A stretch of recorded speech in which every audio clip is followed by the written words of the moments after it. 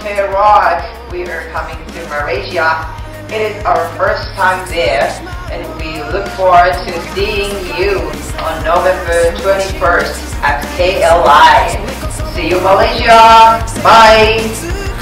Bye. Bye.